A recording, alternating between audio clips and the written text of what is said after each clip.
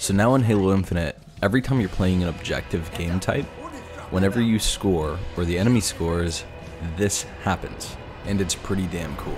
Check it out. An ally has taken the enemy.